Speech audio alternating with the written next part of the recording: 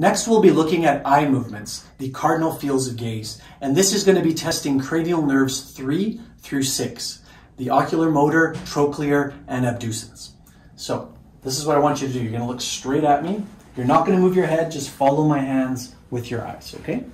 So starting out, I want you to follow. Good. Okay. Now we're going back.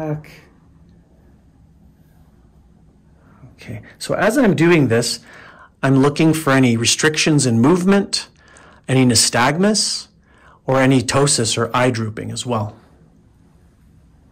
Good, perfect.